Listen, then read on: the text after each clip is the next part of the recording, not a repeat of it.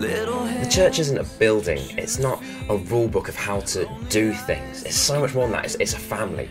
It's, it's this community, and that's what I want to do. Is we, we go to Blackpool. I want to build a community of people people that when you come into into our presence when you come amongst us you're like whoa these guys they're not just singing to the air or reading from a, an ancient book but these guys really do love and meet, seem to meet with this jesus who they're singing about who they're reading about.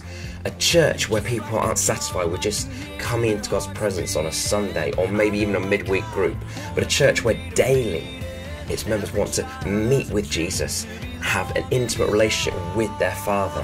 Boys become kings, girls will be queens, wrapped in your majesty. When we love, when we love the least of these. I want to be part of a church that really preaches from the Bible and believes that it's true and believes that it can affect and change the way that we live as, as men, as women, as children, and that we can, it shows us how to bring glory to God in that.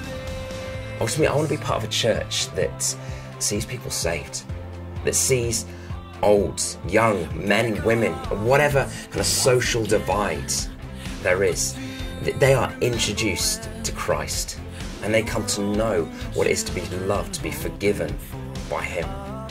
I want to be part of a church that as people come amongst us, they don't feel like they have to pretend that they're alright, that they have to put up this plastic mask. But ultimately, you know, they've got things wrong with them. People have got things that they've done, that they've said, that they, they've done that they're not proud of, that they may even be ashamed of. It's not me too.